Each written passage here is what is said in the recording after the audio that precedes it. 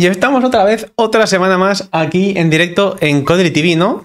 Qué bien estamos por aquí, ¿no? Estamos a gustico. Me da mucho miedo ese cursor que estás dejando encima del end stream. Si puedes bajarlo un poquito, que no se quede ahí.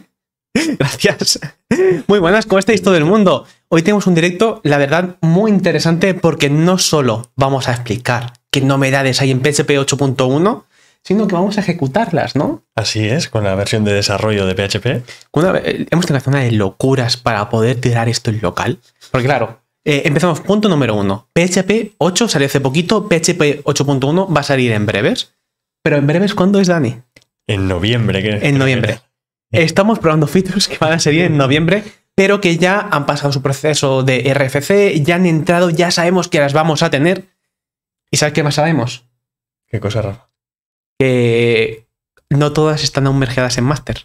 Y hemos tenido que compilar y una que otra imagen de Docker un poquito rara de un lado, compilar una que otra extensión, pero hoy vamos a poder probar lo que son las fibras por un lado y los enums en PHP 2021 por fin han llegado los enums a PHP. Ha merecido la pena, ¿eh? La compilación. Ha merecido la pena. Poder ver el código en ejecución, que lo vamos a ver ahora. Sí, sí, sí. Está muy divertido. Y esto creo que es algo que va a cambiar el paradigma. Punto número uno. Los enums hoy en día se podían hacer, ahora vamos a verlo en código todo, se podrían hacer pero muy guarritos.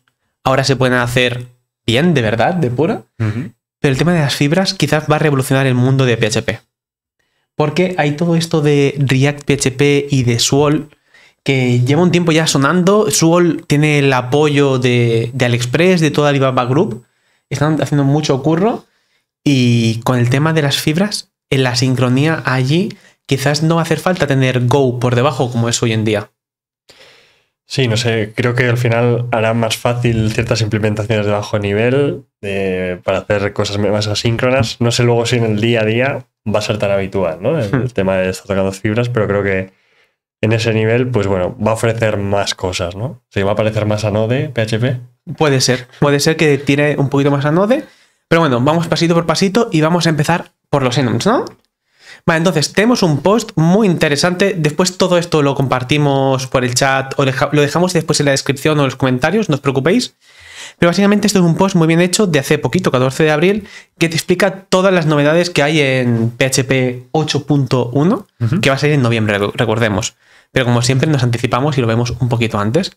Entonces, la primera que vamos a ver es esta de los enums. ¿Qué es un enum, Dani? Pues digamos que es. uf, es, es un. O sea, es como. O sea, un- esperaba que dijeras un enum es una enumeración. mucho más fácil. Mucho más fácil. Pero sí, ¿no? Es como un, una clase o un objeto que solo puede obtener eh, unos valores predefinidos. No puedes salirte de esos. eh, Aquí, por ejemplo, estamos viendo el típico ejemplo, el clásico ejemplo donde un enum sería un una buena tipo de datos a utilizar cuando es que tenemos el mítico status. Pues tenemos un usuario, un pedido que el estatus es pendiente, un pedido que el estatus es activo, un pedido que el estatus es archivado.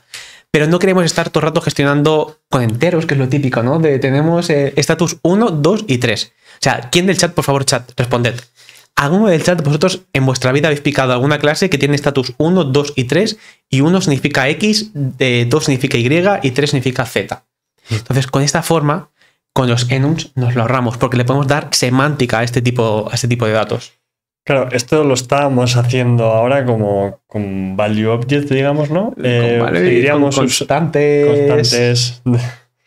Claro, un enum al final, eh, una vez que tú defines ese estado, digamos que implícitamente no puede existir un valor diferente. Cuando usabas enteros, ¿no? Te pones un 2, 3, le puedes pasar a algún momento un 4, ¿no? Y con los enum ganas esto, ¿no? Que los casos que, o sea, como se ven ahí, ¿no? Los tipos que tú has definido, Hmm. ya no te puedes salir de ahí. Me recuerda bastante a cuando eh, estamos haciendo código de dominio, hacemos value objects. A veces también hacemos eh, objetos de dominios de estado y demás. Hmm. Y para impedir eh, que nos salgamos de estos valores, tenemos que hacer restricciones, tirar excepciones y demás. Eh, Y otra claro, cosa interesante, es lo que está comentando en el chat, los estatus números negativo. Menos 201, menos 202, menos 203. total, total, sí, sí, sí. Entonces, ¿sabes qué podemos hacer ahora? Podríamos una- verlos, ¿no? unas pruebitas, ¿no? Con luego los enums. En la descripción del vídeo tenéis un enlace a un repositorio de Codely donde ponemos ejemplos de algún que otro vídeo de YouTube que hacemos. En este caso, carpetita de PHP 8.1. Vais a ver lo- los ejemplos de código que vamos a ejecutar, solo que aquí vamos a hacer tam- también un poquito más de live coding y vamos a daros la explicación. Entonces, si os queréis clonar este repositorio, está en la descripción de, de- de este vídeo para poder hacerlo todo en paralelo y poder jugar y ver la gracia. La única dependencia necesaria es tener Docker.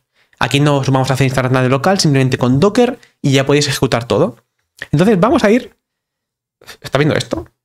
¿Estás viendo esto? ¿Estás viendo qué, eh, qué entorno estoy abriendo? Esto no es IntelliJ. Esto no es IntelliJ. ¿No era tu editor de confianza? Lo sigue siendo. Pero ¿sabes qué pasa? Mira, voy a abrir IntelliJ. Voy a abrir IntelliJ y te voy a enseñar este mismo ejemplo de IntelliJ. ¿Ves que me está marcando esto en rojito, esto en rojito, esto en rojito? Si le doy a reintentar me lo pone todo feo. Es que ¿Qué pasa? Que en la versión de PHP 8.1 no sale hasta noviembre. Por lo tanto, los IDEs, Visual Studio Code, nadie más tiene el soporte. Entonces, yo, Rafa, he tenido que tomar una decisión con el IDE. ¿Sabes qué, qué decisión he tenido que tomar? Oye, he de coger un IDE, he de coger un IDE y quitarle el plugin de PHP para que no me diga los errores. Entonces, lo puedo hacer en mi IDE que quiero de confianza, el de pura, que es IntelliJ, o lo puedo hacer en el otro IDE que hay, Visual Studio. Le puedo quitar el plugin de PHP, simplemente que me lo coloree, pero que no me diga que eso está mal y que después me lo idente mal. aquí no te duele, ¿no? Aquí no me duele. Aquí no me duele borrar el plugin de PHP. ¿Sabes lo que me duele? Lo que me duele es la gente que utiliza, la gente de vosotros que utilizáis Visual Studio Code y tenéis puesta la ventana, esta, esta cosa fea, el Activity Bar. Esta Activity Bar de Visual Studio Code es muy fea, por favor, por favor. O sea, View, apariencia, Show Activity Bar y la quitáis y ganáis un poquito más de pantalla. Esto es Visual Studio Insiders, no sé qué, me bajo siempre las últimas versiones, yo soy así. Por ahí estaba comentando Nuria que, que era, que te, estabas, te estás convirtiendo en ella, ¿eh? Tema en blanco, Visual Studio Code. En, en- en el Visual Studio Code no, eso creo que nunca va a llegar a pasar que vaya aquí. Tema en blanco. Y y yo estoy igual que Javi, ¿eh? o sea. Hay que darle la razón a Nuria. Hay que dársela. O sea, no siempre, o sea, no siempre utilizo tema blanco, pero ahora, si es de día y hay mucha luz, utilizo tema blanco. Si es de noche y hay poca luz, utilizo tema oscuro. Y ahora el sistema decir- operativo me lo va cambiando y tal. Pensaba que ibas a decir que no siempre hay que darle la razón a Nuria. No, no, nunca. hay que- nunca. O sea, ver, por defecto hay que evitar darle razón a Nuria que después te sube. Pues Por defecto es eso, pero después tiene razón. Entonces, eh, encima hicimos el curso de, de Light and Dark Theme y la verdad ahí me convenció en ese momento, es cuando me convenció. Eh, si queréis ver cómo hacer vuestra web con temas oscuros claros que cambien en base a preferencias del sistema. Pero bueno, volvemos. Estamos aquí. Más cositas importantes de que pongáis shortcuts que sean cómodos para gestionar todo. Bueno, bueno. Volvemos a nuestro editor. Está todos los trolls eh, hablando. Es la edad, me comentan. Yo sigo tirando millas. Esto es un enum en PHP. Eh, también os digo, vamos a estar picando live coding.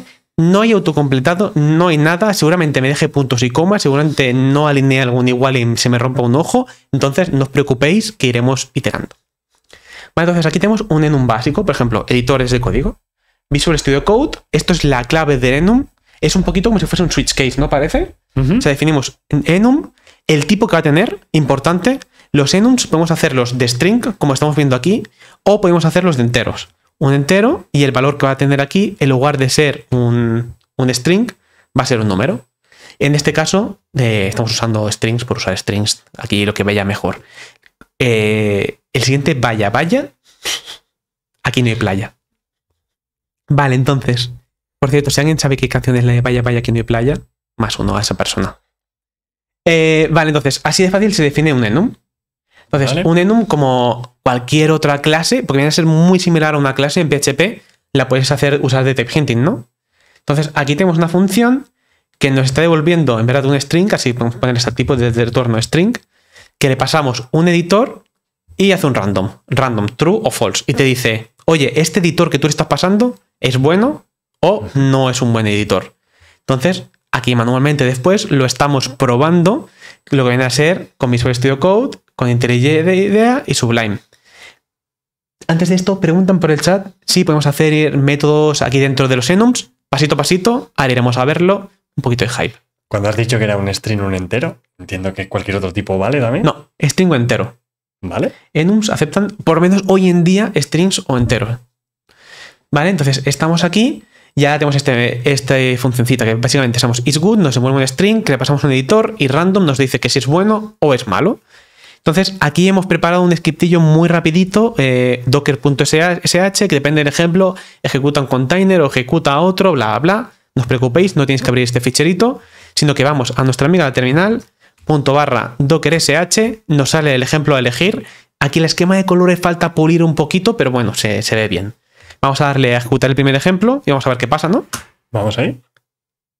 No puede ser. No, el- el- esto, esto es malo. O sea, esto es Nuria. Esto es Nuria que ha alterado, ha alterado el espacio-tiempo para que el random diga que Visual Studio Code es bueno, que IntelliJ no lo es, pero que Sublime Text sí que lo es. Sí, ¿no? Lo ejecuto otra vez, Hackeado el random. pero lo ejecuto otra vez. No puede ser otra vez. no puede ser otra vez. Espera, Vas a ejecutarlo hasta que salga lo Sí, claro. lo Hasta que tú salga lo que quiero. No, no, tres veces seguidas no. Ya está, ¿eh? Si sale ya. Ahora, ahora, ahora, ahora. ¿Ves? Es, es el, el determinismo, de- el, el random de, de todo el mundo dice que IntelliJ es un buen editor de texto, ¿no? Es- tú, tú usas IntelliJ, ¿no, Dani? Yo uso todos. Es verdad, eh, claro, claro, claro. Venimos de grabar el primer curso de Dani, curso de Setup en Linux, que lo vais a tener mañana en la plataforma. Y ahí, spoiler, Dani utiliza tres editores en su día a día. Entonces, pro.codely.tv para saber más de cómo tiene todo el setup en Linux montado Dani.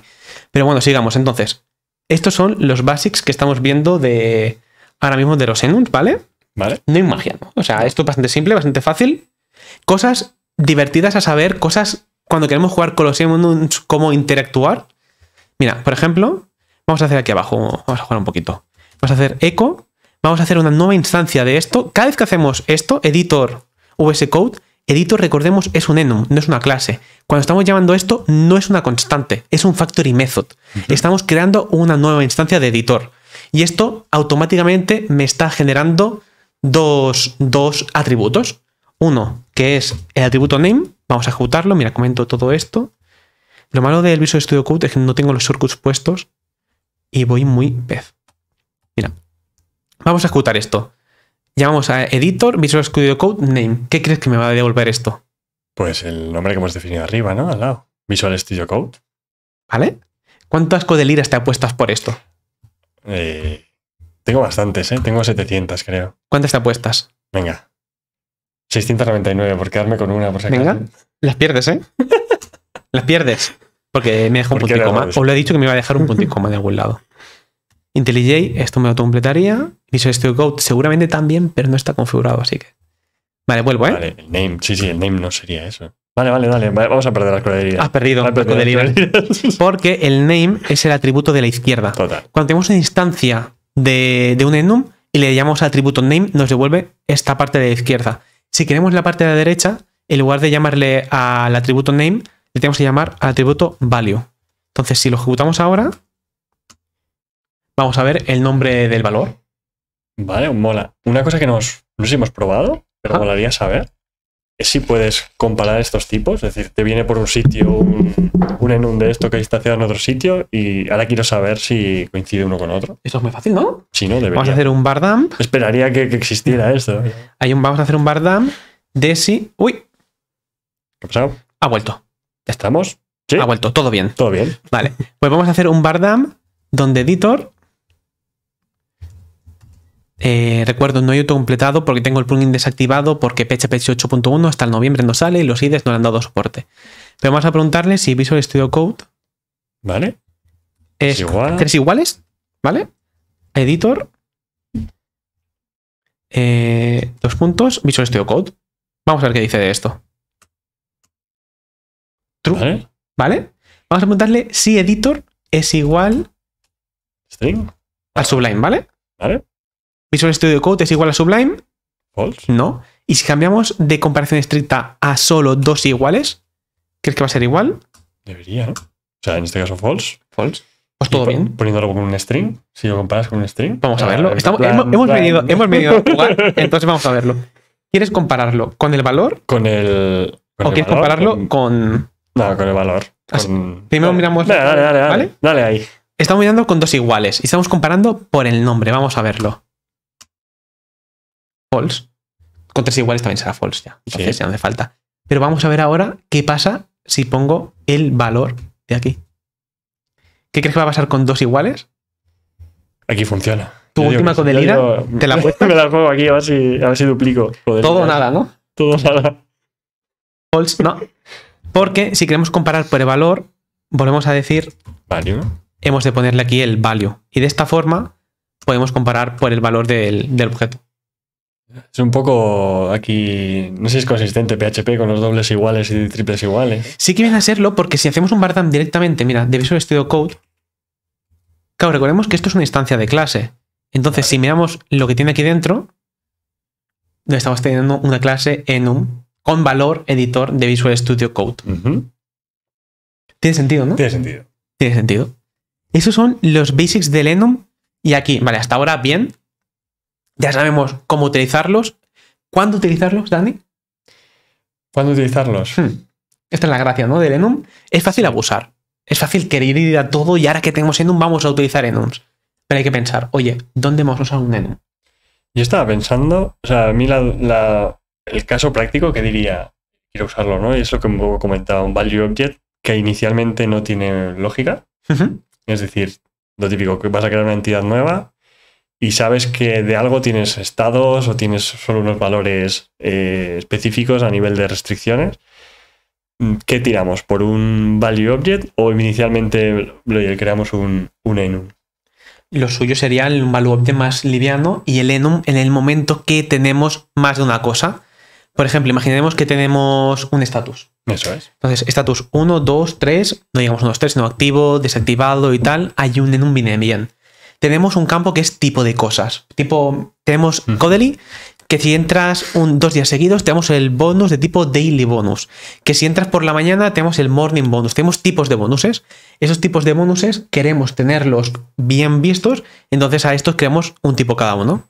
Entonces aquí podemos tener el bonus tipo de bonus, tipo de usuarios. Todas las cosas que pueden ser tipo de algo, aquí son buenos sitios para que vaya a haber un, un enum. Y pregunta, si al final, típico value objects, eh, no solo meten los tipos y las restricciones, sino que luego atraen el comportamiento, ¿no? O sea, el comportamiento es alrededor de esos tipos, como lo, cómo lo enganchamos aquí. Vamos a verlo. Venga. Vamos, hemos visto ya los basics de enum, ya sabemos más o menos cómo utilizar un enum. Vamos a ver cómo se puede poner todo un poquito más complejo. Entonces, vamos a ver otra feature más que ya vimos en PHP 8.0, que fue el pattern matching. Vimos que PHP incorporó pattern matching y que podemos hacer cositas como estas. Entonces, tenemos un pasito atrás y volvemos. Tenemos una enumeración, editor, editor de código, donde tenemos aquí Visual Studio Code, IntelliJ IDEA, tenemos el Sublime, pero después tenemos otro aquí que es el creador. Entonces, este método creador, ¿qué está haciendo Dani? Aquí, eh, mira, hace un match del dis, Que será en ese momento la instanciación de ese num, Ajá. y eh, va a ir por los casos a ver cuál, eh, cuál toca, ¿no? Y en ese caso va a devolver en el comache. Exactamente. Esto hasta este momento, hasta antes de tener los enums, lo que solíamos hacer es tener en algún lado un array, en plan, eh, no sé, le pongo value por ahora rápido. Ah, mis shortcuts. Valor, donde teníamos un clave valor y decíamos, oye, que sepas que VS Code, este es igual a Visual Studio Code y etc, etc, etc. Y después lo que hacíamos es, oye, dame el valor de aquí si existe, si no me das un error. Ahora con pattern matching podemos hacer este tipo de cosas. De directamente, oye, machéame que yo, que dis, tenga uno de estos valores. Y esto, hay una cosita que, eh, o sea, funciona, ¿eh? Y esto funciona muy bien. Vamos a verlo, lo ejecuto aquí. Explore enum. Y sabemos que si vamos a ver eh, IntelliJ IDEA quién lo ha creado, sabemos que es JetBrains. Pero ¿qué pasa? ¿Qué es lo que falta? ¿Sabes qué estaría guapo? Que Dime. si ahora mi enum tuviera otro caso más posible de enum, por ejemplo, tenemos aquí Atom que está volviendo a vetarlo. Vale. Eh, Atom era de Adobe, ¿no? No lo sé. Pero se lo asignamos. Una cosa guapa de muchos lenguajes que tienen Chilet clases, clases y tal es el hecho de que, oye, estamos haciendo un pattern matching sobre una enumeración la cual tiene n, n cosas. Si tú en tu enumeración te olvidas de poner esa cosa, doy un error. Vamos a ver si PHP incluye esta feature. Venimos aquí, lo ejecutamos Y no. No, Claro. no, no, no. no. Eh, porque no es un compilado, ¿no? Al final no hace chequeos. Hmm. A ver, en runtime sí que cuando llega ahí esa línea de ejecución, probablemente como interpreta ese trozo de código podría, podría petar, ¿no? Pero Han decidido que no. también no sé si en producción, o sea, llegar a producción y que, y que sea en ese momento cuando peta sería un poco, Hmm. un poco allá. Hmm. Eh, pero sí, pero de todas formas esto pone muy fácil a los eh, chequeos estáticos, Hmm. es decir, herramientas de chequeo estáticos, eh, ya teniendo esta estructura, lo van a tener fácil para, si ven un match de dis, darse cuenta de que no existen los dis contra los, analizando estáticamente el archivo, Hmm. que no existe el, el dis para los cuatro cases. Entonces, bueno, eh, no lo vamos a hacer en tiempo de compilación, pero lo hacemos en chequeo estático, ¿no? Perfectísimo. Pues sí, eh, hay herramientas de chequeo estático muy potentes en PHP últimamente. Eh, la gente de Stripe estaba haciendo una y no me acuerdo el nombre. ¿PHP Stan era? No. Eh, Pesalm, Pesalm. ¿Pesalm era de Stripe? Eh, no lo sé. Lo que sí que Atom era de GitHub, me lo han dicho por el chat. Muchas gracias. Javi está aquí con la cerveza en mano, comenta. Nosotros aquí estamos con una rica kombuchita en mano, siempre va bien. Y. ¿Cómo que no? Si tú estás tomando kombucha ahora, Dani, que lo sabemos todos. Y eso, eh, Pesam, una herramienta muy potente de análisis, análisis estático, que seguramente esta feature, si no está incluida ya, la pondrán en breves, porque esto estamos. O sea, si aquí metemos Atom, seguramente en todos los sitios donde haya, un pattern matching de, de editor, querremos hacer el caso de Atom. Entonces, eso estaba muy, muy guay. Sí, sí, sí. Yo creo que el chequeo estático lo incluirán. Al menos configurable. Oye, si encuentras esto, avísame, o falla o lo que sea. Sí, sí. Entonces, lo que sí que sabemos es que en PHP podemos crear aquí estos, estos métodos, hemos visto, en los enums. Son como una clase que puede tener métodos de instancia. Podemos también hacer métodos estáticos, aquí todo guay. Pero ¿sabes qué no podemos hacer un enum? ¿Qué, ¿Por qué no podemos hacer? Mira, te lo hago aquí si quieres. Imagínate que yo quiero ahora tener aquí un poquito de estado. Entonces me quiero crear aquí una Ah. propiedad, private, eh, Dani. Dani. Dani. Y aquí en el creditor, cuando lo llamamos, pues queremos decirle, oye, que sepas que este Dani es un crack. Entonces, esto lo tienes así. Lanza los te- eh, lanzamos esto ahora. ¿Eh? Eh, explore enum. O los enums no no. pueden incluir propiedades. No podemos tener estado en un enum aparte del propio, de la propia entidad de un enum. Son, son inmutables en este caso. Eh, me parece bien. Creo, o sea, hay que decir. eh, ya tenemos clases quizá para eso, ¿no? Y, y dejemos. Claro, es que es muy antipatrón, en verdad, en un enum ponerle ahora todo, todo esto. Claro. Y una, una pregunta. Aquí, o sea, Creator está devolviendo un string porque este pattern matching está devolviendo string. Exactamente. Pero entiendo que esta función podría devolver lo que quisiéramos. Es decir, poder- si esto lo asimiláramos a un value object de, de editores, eh, podríamos hacer aquí diferentes funciones sobre tal. Exactamente. Mola. Exactamente. Entonces, todo esto así, no hay mucha, mucha, mucha más magia en los enums.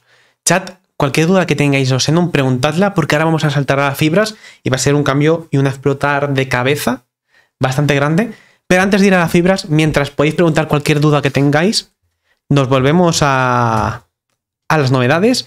No saltamos la parte de las fibras, vamos a ir después y vamos a ver qué más features hasta ahora nos incluye PHP 8.1 aún está en desarrollo, aún pueden añadirse, co- añadirse cosas nuevas. Creo que es a partir de junio, julio, cuando hacen el freezing y ya es todo mirar que funcione guay. Pero por ahora estas son las features que van a aparecer nuevas.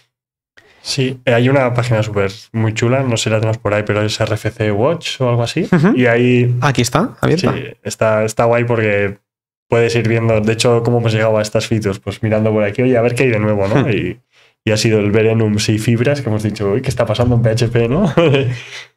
Está, sí, sí. está pillando carrerilla. Ha habido mucha discusión en el mundo open source sobre si PHP, o sea, en un sí, pero por las fibras, ahora vamos a llegar, ha habido mucha discusión si era necesario que hicieran estas cosas o no.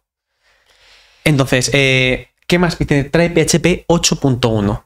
Performance de un 5 a un 8% de mejora de la performance, así, esto es una media, siempre no tiene por qué ser así para ti, pero es un buen número, o sea, no va peor, sino que va mejor. Sí, de hecho, o sea, mola. O sea, en cada release mejor performance y me acuerdo de de la época de que salió un poco React PHP, que buscaba un poco esto de buscar la sincronía y no tener que tirar el PHP abajo en cada petición y demás.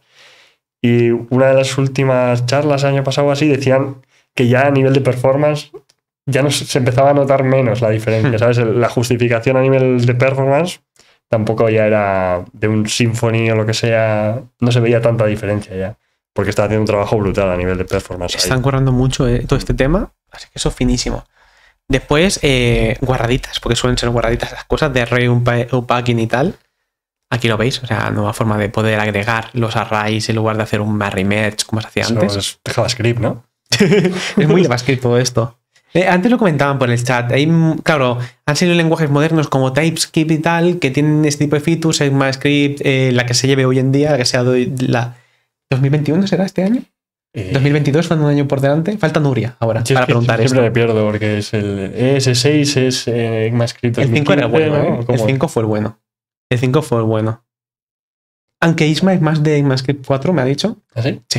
Pero bueno, eh, Isma es una persona muy curiosa le gustan curiosidades de ECMAScript pasados. Vale, y esta es curiosa. Hablando de curiosidades, seguramente esta se la sabría Isma. Eh, sí. Isma le diría, oye, ¿tú sabes que en PHP ahora podrás tener el tipo de retorno de nunca? Y tú te preguntas, ¿qué se diferencia nunca de void o de null que podrías poner antes? Pues que nunca, nunca devuelve nada.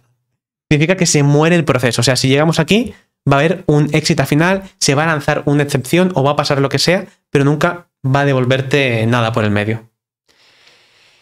Eh, no sé, es curioso. Eh, o sea, a veces siento que siempre se quedan como edge cases, ¿no? En cada- cuando sale una feature nueva y luego viene alguna cosa más a, a cerrarla. O... Pasa también creo que con, lo- con los con el tipado y todo esto. Eh, con los, los labels y tal, es como que poco a poco se van cerrando cosillas, ¿no? se, Pero- cierra, se cierra vuelta. El mixed que hay en PHP se dejará de utilizar porque podemos poner cosas concretas ya por fin en todos los casos. Vale, seguimos bajando y aquí ya empezamos a ver cosas ya muy, muy, muy, muy, muy residuales, parece una forma. Este array es una lista, porque un array puede ser un traversable, puede ser una lista, puede ser X cosa, te devuelve un booleano, como dice el nombre. Bajamos aquí, fsync para sincronizar ficheritos en local, tenemos el fopen, fread, pues ahora tenemos un fsync. Eh, tiramos para abajo. Es, Octal mm, Notation. Bueno, no está octal, yo no sé Octal, sí. Mi en mi- yo en mi vida lo he usado. Si alguien lo ha usado, por favor, que lo diga. Pero en mi vida lo he usado. Voy bajando aquí. Y ya Breaking. Y esto es importante, ¿eh? PHP. Mi punto de, mi punto de opinión, ¿vale? Mi opinión. ¿Eh? PHP 8.1 está metiendo en nums, pero también van a meter lo de las fibras que vamos a comentarlo ahora. Para mí es un cambio muy grande. Es un cambio muy grande y encima están haciendo con este PHP 8.1 breaking changes. Para mí, esto debería ser más un PHP 9 que un PHP 8.1. Ya, es. Sí, sí, es que el versionado de PHP en sí, las. O sea, el 8.1 no es una minor. Eh, eh, Siempre tiene cambios, ¿no? Suelen ser bastante heavy los cambios. Y en esta en concreto, yo creo que es bastante heavy y, y podría ser perfectamente un- una 9. Es que podría ser una 9. Una Mm. 9 perfectamente. Eh, breaking changes, si los queréis leer, después pasamos los enlaces, los podemos en la descripción. Y es que mira, IMAP functions. ¿Tú sabes una función de IMAP directamente a pelo? Para enviar emails. Está Esta- esta- igual. Pero esta sí que es buena, esta sí que es curiosa, ¿eh? Esta aquí por ahora no es un breaking change, no peta, pero sí que han deprecado enviarle null a cosas que no sean nullable. ¿Qué pasa? Hasta ahora PHP te dejaba pasar el null, aunque tú le hubieras dicho que una varia- eh, un parámetro iba a ser no nullable. Ahora va a ser va a estar deprecado y en, en futuro lanzará una excepción en lugar de un warning de deprecado. Aquí, mira, aquí lo dicen. En PHP 9, estos serán errores. Esto sé que mola. Porque hay muchos bugs que vienen sin querer por pasar un null cuando nunca debería llegar null. Que si esto lanzara una excepción, lo veríamos, tendríamos una traza y menos bugs que explorar. Bueno, bueno- aquí, o sea, comentando, ¿no? De la- del tema del versionado, quizá estos casos breaking change, pero es warning, ¿no? Entonces Claro, porque también esta, mola- esta sí que breaking change dura. O sea, si aquí no si esto no la ponen un cambio de versión duro, Perdón. porque esto aquí te, te puede romper muchas cosas si no estás bien, bien validado. Y bueno, después pequeñitos cambios que os ponen aquí a explorar.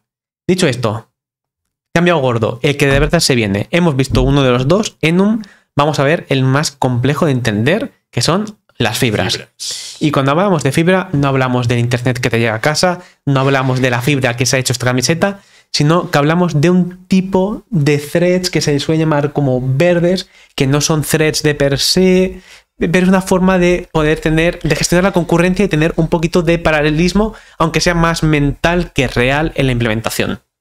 Claro, en el caso de PHP veremos que el paralelismo en sí no se da tanto, se da más, es más de sobre sincronía. Y eso, al final, yo el tema de fibras tampoco estoy muy puesto, pero en realidad fue leyendo sobre motores de videojuegos que ahí se usaba bastante. Tema, tema de, claro, para no cargar tanto, claro, si vas abriendo hilos, hilos, hilos, la performance. Entonces, esta es una forma más similar a las corrutinas quizás de Go, pero bueno, vamos a por ello. Vamos a por ello. Vamos a, hemos hecho una mini demo y vamos a empezar a hacer live coding para ver qué pasa. Pero antes de nada, ha habido una duda de los enums, que vamos a hablarla, ¿no? La duda era, oye, vale, tenemos el método este creator, ¿qué pasa si yo entro aquí y no es que cree una propiedad, sino que voy a modifi- modificar este this value a mano? Es decir, que el value de mi cosa va a ser directamente, por ejemplo, Sublime Text. ¿Vale? Entonces, editor, pipim, pum, papam. ¿Qué crees que va a pasar, Dani? Pero qué error. ¿Esperas qué error? Pues muy bien. Porque las propiedades de un enum, como hemos dicho antes, son inmutables. Por lo tanto, no mutan y no podemos modificar su estado. ¿Vale? Y ahora sí, Agua. si quieres un poquito de kombucha, siempre va bien. Limpia y purifica estómago y mente. Vale. Entonces, hasta aquí el tema de enums. Vamos al tema, por favor, eh, cinturón de seguridad. Nos lo abrochamos. Porque se vienen curvas, esto es peligroso. Vamos ahora sí. ¿Sabes qué es lo bueno? Vuelvo a mi editor de confianza. Porque si en lugar de ir a los enums nos vamos a ver las fibras, ya no es una sintaxis que no, que no conozcas, una sintaxis conocida, simplemente que no puede ir a esta clase. Perdona, Rafa. No, no, no. El Perdonado. puntito este mortal.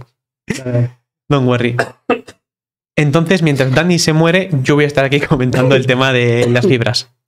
Mira, te lo abro si quieres también Visual Studio Code. Parece que a Dani le da alergia en TJ. Yo vuelvo a Visual Studio Code. Vale. ¿Qué es una fibra? Lo que hemos dicho, una forma de gestionar la asincronía. Y vamos a empezar de lo más simple y vamos a ir aumentándolo, ¿vale? Entonces, todo esto que hay aquí lo voy a comentar. A ver si. y vamos a hacerla a manita poco a poco. Entonces, ¿cómo se usa una fibra? Vamos a ver primero el uso para ir haciéndolo poquito a poquito. Entonces, lo primero de todo, vamos a jugar con un mapa mental, ¿vale? Cuando estamos eh, en, el planeta aquí, en casa, podemos poner una casa, pero bueno, cuando estamos aquí, voy a poner la casa, pues estamos en casa, ¿vale? Cuando estamos en casa, en el set principal, vamos a poner el emoji de la casita. Cuando pasamos un valor desde el set principal, le vamos a poner al final el emoji de la casita. Y cuando estamos dentro de un thread, le vamos a poner el em- de, de una fibra, le vamos a poner el emoji de ADN, que es lo que más hay que se parece a una fibra, ¿vale? Entonces, primero, lo que vamos a hacer, vamos a ir línea por línea y vamos a ir ejecutándolo para ver que funciona bien. Vamos a ejecutar aquí en nuestro Docker, vamos a ejecutar el de fibras basic y ahora solo debería de pintar arrancando todo arrancando todo y esto lo estamos ejecutando en nuestro hilo principal de ejecución, ¿vale? Entonces ocultamos esto y ahora vamos a llamar a nuestra primera fibra. Entonces, para llamar a nuestra primera fibra, primero vamos a crearla. Copio ya y pico el código de aquí. Aquí le estamos declarando que no llamando, importante. No hay que confundirse una cosa con la otra. Entonces, aquí la tenemos. Tricky tree. Eh, y cerramos. No tengo saltado y seguramente haga muchas liadas de por medio. Es normal. Entonces, una fibra. Una fibra me llega, me puede llegar sí o no un valor inicial. Este valor inicial es el valor que le estamos pasando desde el start, cuando llegamos después al start. Entonces, lo que vamos a hacer por ahora simplemente la fibra es, vamos a ni pasar el valor inicial, vamos a dejarlo sin nada, vamos a dejarle sin valor inicial y vamos a meterle otro eco de cuando estamos dentro de la fibra diciendo, oye, esto es un eco desde dentro de la fibra. Recordamos fibra, vamos a ponerle el emoticono del ADN y vamos a decirle hola desde la fibra. Hola desde la fibra. Fibra 1 porque quizás hacemos más de una. Guardamos y ahora lo que estamos haciendo es un eco en nuestro set principal, de arrancando todo y después un Fiber Start. Y ya está, nada más. Mira, voy a quitar esto. Dani, como siempre, ¿qué crees que va a pasar? Pues, si te soy sincero, después de este ataque de todos, he tenido que desconectar, desconect- mi cerebro ha Bueno, mientras- mientras no Me lo voy a inventar, va a fallar. ¿Va a fallar? Va a fallar. Todo el mundo, No toco ya. por favor, eh, eh, chat, una F por Dani para darle fuerzas. F no de mal, sino F de fuerzas. vale, le damos. Ha ido todo bien. Vale. ¿Qué ha pasado? Vamos a verlo. Hemos primero hecho un eco en estilo secuencial, secuencial de nuestra casita, estamos en casa, y después hemos ido abajo para hacer un start de cómo empieza. El start ha arrancado la fibra, la fibra se ha ejecutado y ha llamado al primer eco que teníamos. Hasta aquí todo bien, ¿vale? Pero ¿qué pasa? Que una fibra tiene estado. Una fibra se puede pausar y se puede volver a darle al play. Vale. Un poquito como la terminal de Codely. O sea, cuando todo funciona bien, un comando va bien, true, todo está verdecito, todo está en play, pero si un comando falla, se pone en modo pausa, ¿no? Pues un poquito con la fibra se puede hacer lo mismo. Esto es Vale. Dodly. Si queréis Dodly, más información en github.com barra CodelyTV barra Dodly. Oye, Y cada vez que cierro la terminal me sale un mensaje aquí. Bueno, entonces, eh, tenemos el primer mensajito a Fibra, pero lo que vamos a hacer ahora es decirle, oye Fibra, te voy, a te voy a pausar. Para pausar una fibra desde dentro de la fibra, importante, una fibra solo se puede pausar desde dentro de la fibra. Vamos a hacer Fiber de fibra y aquí vamos a ver Suspend. Esto es eh, cu- o sea, diferente, ¿no? Porque con los threads sí que a veces pues con, o sea, Claro, con los threads puedes compartir estado y puedes hacer el estado de los demás. Con la fibra no. La fibra, el estado de la fibra se queda la fibra y tu estado de otra fibra no pueden chocarse. Y aquí eso, el- el- la ejecución principal, digamos, ¿no? El main, Hmm. aunque aquí no puede pararlo desde fuera, sino Hmm. todo va dentro. Entonces, recordemos que esto es como si se ejecutara en un proceso aparte, en paralelo, y vamos a ejecutar muchos. Después vamos a hacer picar un mini caso de cuándo esto sería útil.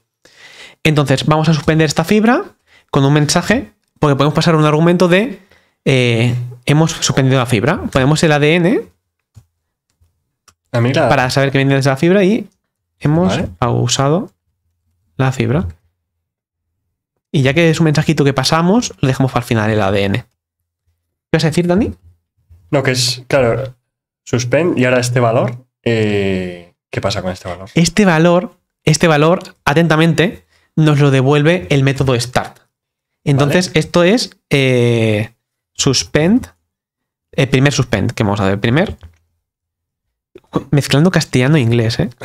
primer suspend es igual a Fiber Start. Entonces, ahora vamos a hacer aquí un eco desde casita, importante, ahora estamos desde casita, vamos a hacer un eco de El mensaje, primer, Primer, suspend. suspend, dos puntos, y aquí vamos a ponerle dólar primer suspend.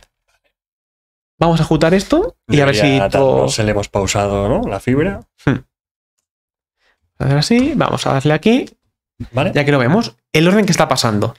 Primero, proceso secuencial, eco en nuestro hilo principal de ejecución. Después vamos a, a llamar la fibra, entra la fibra, llama este eco de aquí dentro. Se suspende la fibra, que no es que se pare, es que se pausa y este suspend nos devuelve un mensaje. Este mensaje nos lo devuelve a nuestro start y este mensaje después secuencialmente lo printamos. Entonces, desde nuestra casita, desde nuestro hilo principal, hemos printado este mensaje que ha venido por la fibra. Mola. Tiene sentido, pero a mí la primera vez me ha chocado un poco la, o sea, la sintaxis de que el suspend le paso y es la devolución del start, ¿no? O sea, al final, cuando Hmm. estás inicializando el start y le asignas el primer suspend, es como este valor será el que me venga cuando se suspenda, ¿no? Es, Hmm. bueno, tiene ahí, pero es, una vez que lo pillas, tiene, tiene sentido. Es muy curioso. Aquí recordamos lo que hemos dicho al principio. Cuando llamamos al start, también le podemos pasar aquí un valor inicial. O sea, aquí puedo poner valor inicial. Ponemos un mundito para saber que este, este dato viene desde la casita, que diga. Viene desde casa, desde el principal. Y esto lo decimos como primer argumento en nuestra función de la fibra. Entonces, aquí decimos un string que es valor inicial. Y aquí podemos pintarlo. Hola desde la fibra. eh, valor inicial. Dos puntos valor inicial. Entonces, si ejecutamos esto ahora, vamos a ver cómo el valor que ha llegado a la fibra ¿Vale? Se arranca desde- todo, se llama desde el hilo de la fibra al mensaje, donde se mete el valor que se ha pasado desde el main thread, desde el thread principal, y después desde el thread principal, desde nuestro hilo de ejecución mayor, sigo todo el rato thread, perdón, porque es fibra thread, pero me sale así, no sé por qué. Desde nuestro hilo principal estamos llamando, estamos printando el mensaje que nos ha devuelto nuestra fibra. Entonces, hasta aquí más o menos un poquito lioso, pero se entiende, ¿no? Sí, y casi igual antes de seguir, yo diría que aquí hay una cosa importante, ¿no? Que probablemente con- en Go tenemos lo que se conocen como las corrutinas, pero que es un sinónimo prácticamente, por ahí hay alguna diferencia, pero es prácticamente lo mismo. Y ahí sí que estamos hablando de paralelización, es decir, me abro varias corrutinas, ¿no? Y están Hmm. ejecutándose en paralelo. Aquí vemos en realidad que, digamos que hemos pasado la ejecución a la fibra, ¿no? Es decir, no hay una eh, asincronía real, sino que es- estás, digamos, eh, est- este método de fibras te va a ayudar como a conseguirlo la sincronía. ¿Se puede hacer cositas? ¿Crees que hagamos dos instancias de la fibra? Dale. Podemos tener una fibra que sea esta, o la desde fibra 1, y podemos duplicar este código y tener eh, fiber 1 y fibra 2. Fibra 2 no va a ser un ADN, va a ser eh, la bacteria esa que estás tosiendo todo el rato. Esta es la fibra 2. y hemos pausado la fibra. Puntito. Ya es lo peor, ¿eh? cuando te rasca el cuello todo el rato. Un puntito ahí. Vale, entonces tenemos fibra 1 y fibra 2. Vamos a arrancar primero fibra 1 y después vamos a arrancar fibra 2. ¿Vale?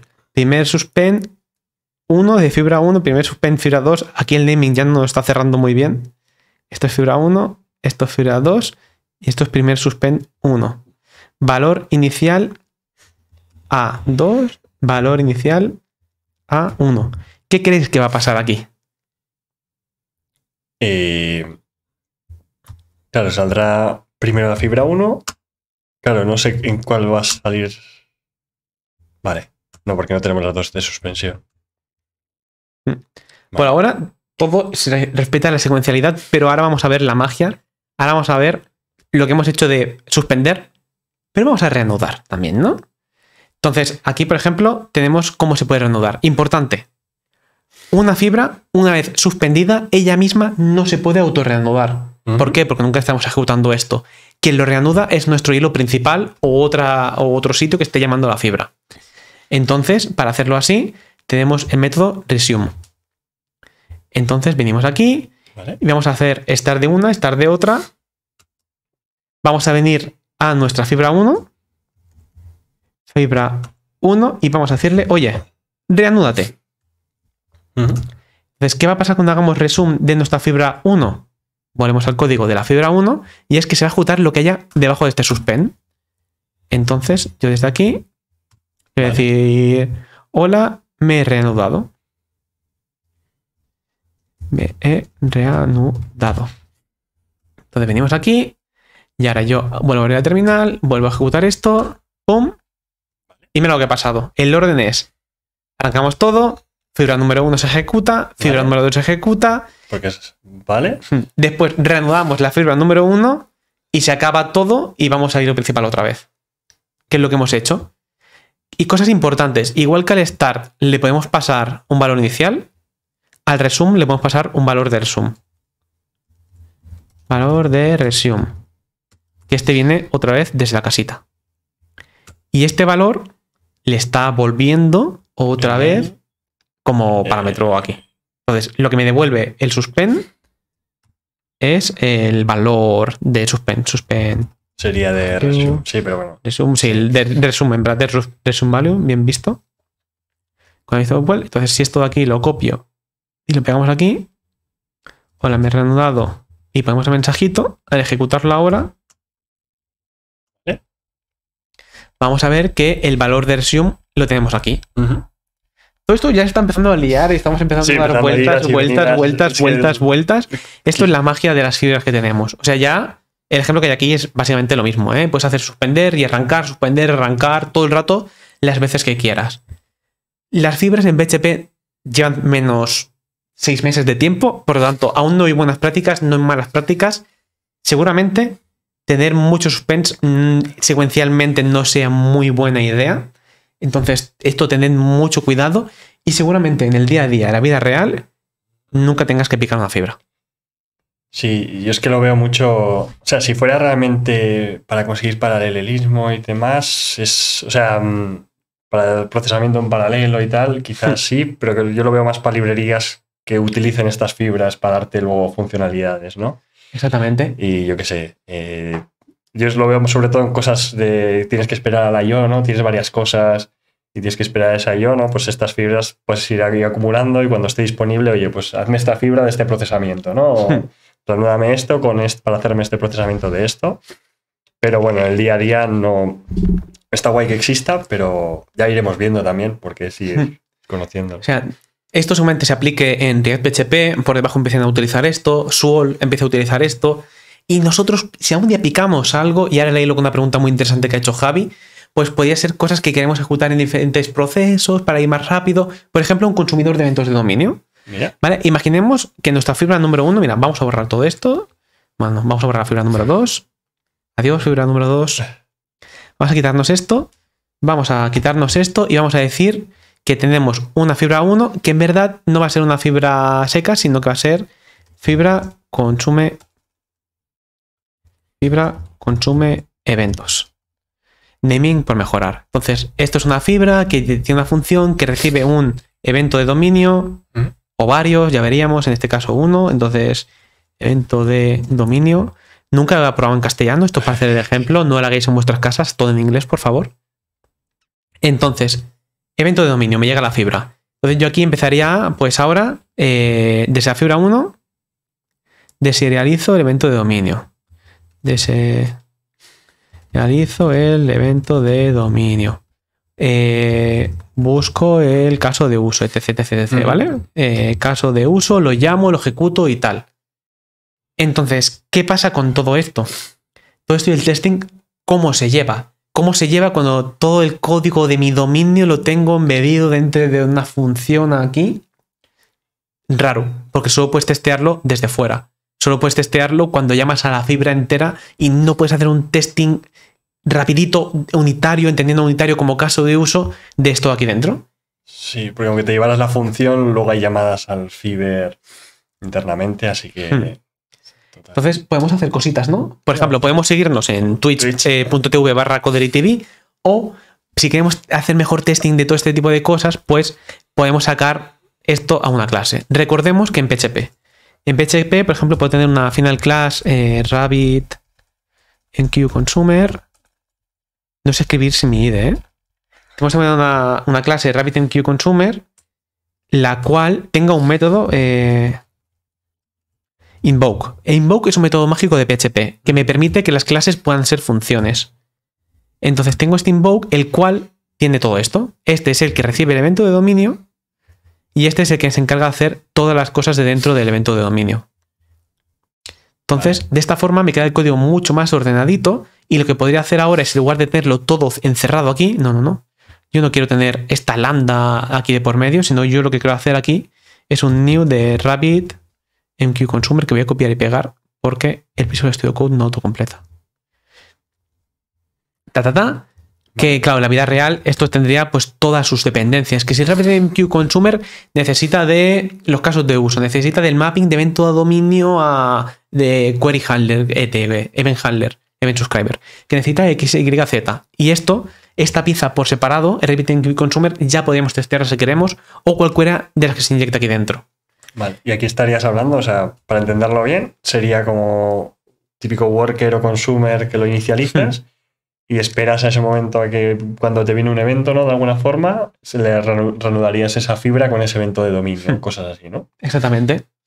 Entonces, todo esto, reiteramos, son cositas que están muy, muy verdes aún. Es una primera implementación.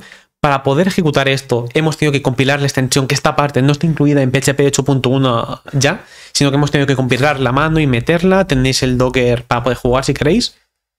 Pero está muy verde. No uséis ni de lejos esto en producción hoy en día. Esto ya llegará en noviembre. La gente que vivimos al límite, pues actualizaremos ese día. La gente que no actualiza, que es muy mala gente, pues actualizará dentro de dos años. Así, así vamos.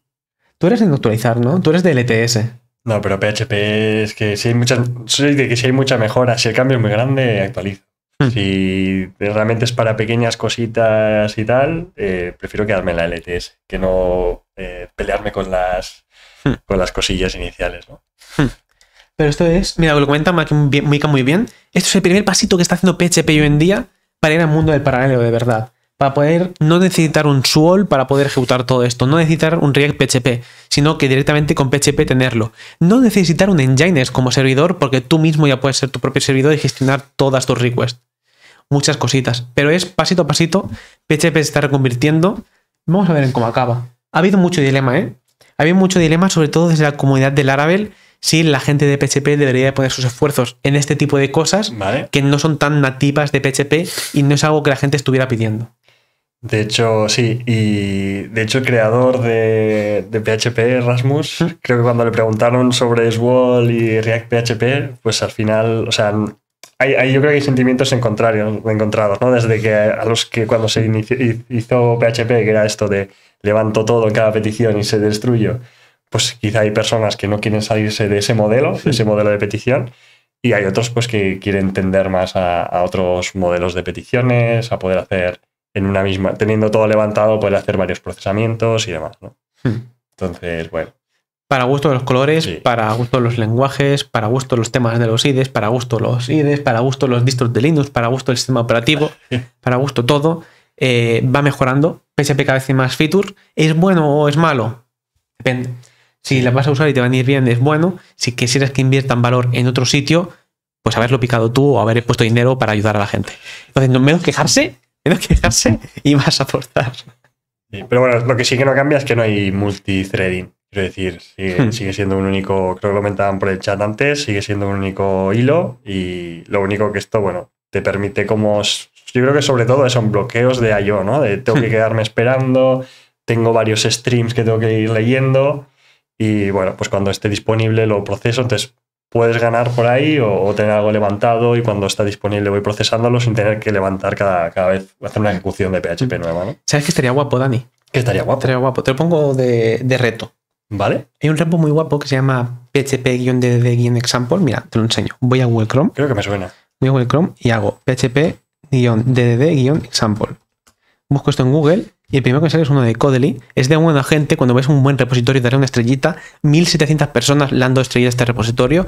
Hay gente que trabaja en Google que le ha dado estrellita. Hay gente de Alibaba que le ha dado estrellita. Hay gente de PayPal que le ha dado estrellita. Hay gente de Netflix que le ha dado estrellita. No vas a ser tú la primera persona que no le dé estrellita a este repositorio, ¿no? ¿Y hay Entonces- contributos? ¿Hay gente que ha contribuido y tal? o- Hay muchos contributos, lo vemos, muchos forks, mucha gente Vale. ha, ha usado esto. Me consta, nos, con- nos consta en Codely que mucha gente ha utilizado esto como base para hacer una prueba técnica en muchas empresas. Entonces, este proyectito de PHP de Example tiene consumidor de eventos de dominio de RabbitMQ. Estaría muy guapo actualizarlo, probar cómo funcionan aquí PHP 8.1 el tema de todo. El tema de. Mira, vamos a meter en nums, porque hay sitios donde hay nums a mano que van viendo en nums. Vamos a probar ponerle, pues, esto, esto, estas fibras para consumir eventos. Sale en noviembre esto, ¿no? Sale en noviembre. En noviembre pasan dos cosas importantes. ¿Qué más pasa en noviembre? Que mi cumpleaños también. Así que Dos por uno. Vaya regalo de cumpleaños te vamos a hacer, ¿eh? Y actualizar el curso de novedades de PHP 8, actualizarlo a 8.1 y poner ejemplitos con esto ya sí o sí de mundo 100% real. sí, estaremos pendientes a las RFCs también a ver si salen cosas nuevas chulas mientras no cierren la release. y, y eso. Pues se viene PR, podréis ver el código y podréis ver más cositas también en pro.codely.tv, curso de PHP, punto- eh, PHP 8, que ya está publicado con las novedades. Y no sé si lo actualizaremos o haremos uno específico con estas cosas, porque implementar la parte de RabbitMQ puede tener mucha amiga y puede quedar muy guapo, la verdad. Porque quitarte, ahora mismo está con Supervisor D de por medio Uf. y petarte Supervisor D y que todo esté desde PHP gestionado, puede quedar bonito, ¿eh? Molaría, Puede quedar muy bonito, Dani. molaría, molaría. Pero bueno, eh, dicho esto, recordad, eh, mira, vamos a ver a buena gente. Mira, te voy a decir que es buena gente. Y Steven MCT es buena gente. J. Moreponce es buena gente. Aver89, muy buena gente. gente. Marco FBB, muy buena gente. Os Rescue, buenísima gente.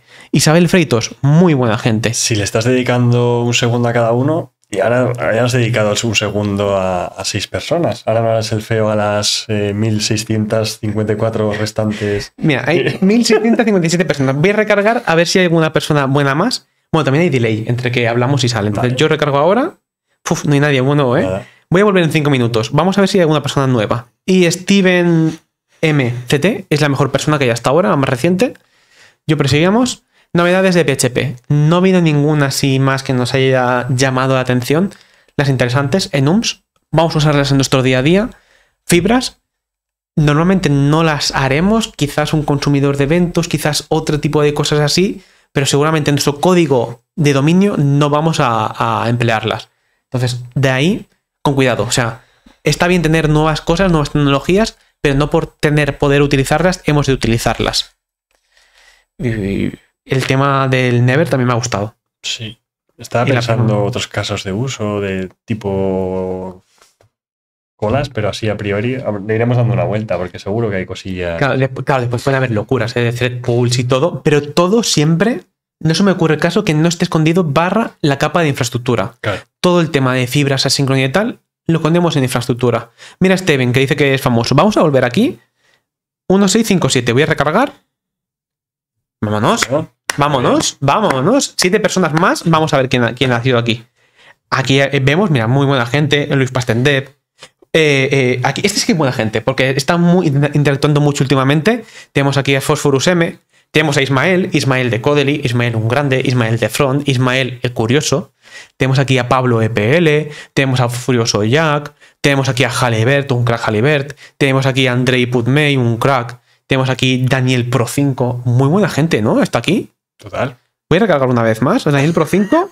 ¡Oh! ¡Oh! Aquí tenemos. Tenemos aquí a Darm1609. Tenemos a Mateo Agudelo. Tenemos a Gerardo, Gerardo Manuel. Es que todo, todo muy, muy buena gente tenemos hoy en este directo. La verdad. Eh, esperamos que os haya gustado. Sí. Eh, tenéis los ejemplos, están en la descripción de, de este directo. Y pondremos también los enlaces, que los enlaces de los posts que hemos visto no los hemos puesto, los añadiremos para que podáis verlo. Esperamos que os haya gustado. Eh, ha estado divertido, ¿no? Sí, sí, sí. ¿Qué tenemos esta semana? ¿Qué más hacemos? ¿Qué más hacemos esta semana? Pues hoy hemos grabado contigo el curso, ¿Sí? que se publica mañana. Mañana vais a ver el cursito de, de setup de Linux, versión opinionada 100% de Dani, cómo se configura, cómo va él en su día a día. Después el jueves vamos a ver un vídeo público que puede causar un poquito de sensacionalismo, Sí. eh, porque, porque son opiniones de nuevo, ¿no? son opiniones. Opinión de Dani, no compartida, pero sí comprendida, de por qué Linux es mejor que Li- Linux es mejor que Mac y Windows para programar. Al menos Y- porque a mí me encaja más. Eh, Bueno, después el viernes, muy divertido. Empezamos la semana pasada con una nueva sección, un café con Codely o café con Codely, no sé si lleva el un o no lleva el un. Café con Codely este viernes, jueves se libera la API de Notion. Viernes, café con Codely, va a estar Javi, va a estar Isma, van a probar la API quizás de Notion, vamos a ver qué pasa.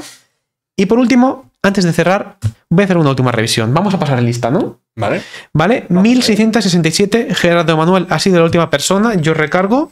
Vale, vale, vale, vale, vale, vale, vale. Tenemos aquí a Ignacio Pérez Molina, tenemos aquí a Beselga, tenemos aquí a Edwin Balbín, tenemos a Critanix, eso fue muy complicados algunos nicks, ¿eh? tenemos a Duban Caballero, tenemos a Coding Cruz, tenemos a Carlo P, muy buena gente. Muchas gracias por estar hoy aquí. Esto es Codely TV. Y antes de irnos, Dani, una preguntita. Dime. Bueno, más para el chat. Preguntita. ¿Tenemos espejos en nuestras casas? Dani, ¿tú tienes un espejo en tu casa? Yo no, yo voy a empezar a romperlos ya.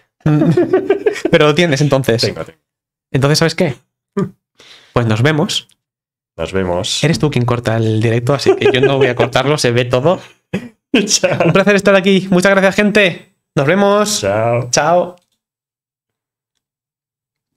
Hostia, tío.